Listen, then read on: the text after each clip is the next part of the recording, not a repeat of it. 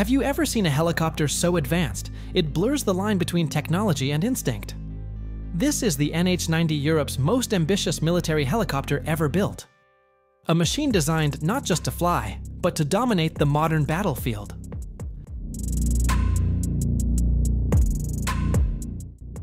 Born from a joint vision between France, Germany, Italy and the Netherlands, the NH-90 wasn't just another aircraft. It was a declaration. A declaration that Europe could build a helicopter capable of matching America's best. With over 300 units in service, the NH-90 now flies across NATO, ready for any mission, any weather, any time. What makes the NH90 truly different is its brain a digital fly-by-wire system that reacts faster than human reflexes.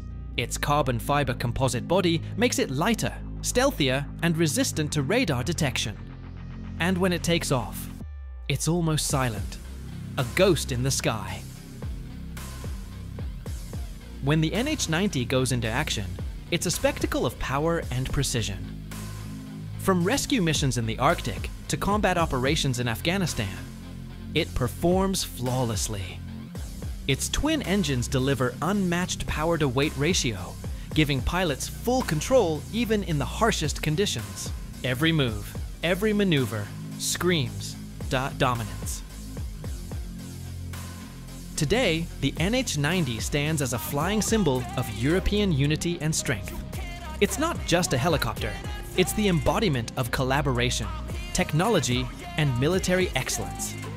Wherever it goes, the NH90 represents one message loud and clear Europe is ready. So what do you think? Does the NH90 have what it takes to rival America's Black Hawk?